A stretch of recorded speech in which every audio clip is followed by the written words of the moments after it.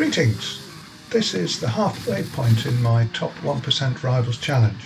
I've previously done A800 and B700 and yesterday I finished S1900 by doing the Titan. I thought I'd do a quick review of the S1900 leg uh, of, of, the challenge but uh, first I'd like to thank some people who helped me along the way. Um, I'd like to thank the tuners, without whose work I'd have had a lot more trouble. So thanks waznewz, Gattsuh, JD, Sandy and Reaganstorme. Um, I, I, will put the share codes for the tunes in the video description.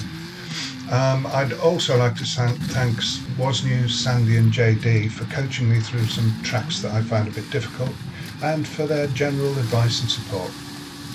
And of course, I would like to thank you uh, the viewers and the subscribers for your views, your likes and your comments. Um, without you there wouldn't be any point doing it, would there?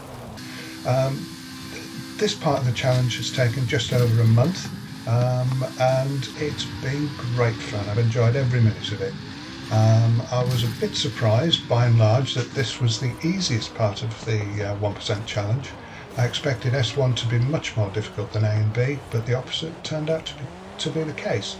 Um, I think as races get faster, people are more reluctant to do them in rivals, and so most of the posted times were posted in races, uh, which they tend to be dirty. I was also a bit surprised that cross country and street scene turned out to be so much easier than road and dirt racing. I expect this is for similar reasons to the difference between uh, the different classes. In particular, cross country, and with a couple of exceptions like Costera and Copper Canyon, turned out to be really quite straightforward. Um, yeah, it, it really has been a lot of fun, and thank you for, for watching my videos so far. I hope you've had as much as much fun watching them as I have in making them. And all that remains for me to say now is thank you for watching. I hope you enjoyed it. Please hit the like button and I'll see you in the next one. Thanks very much. Bye.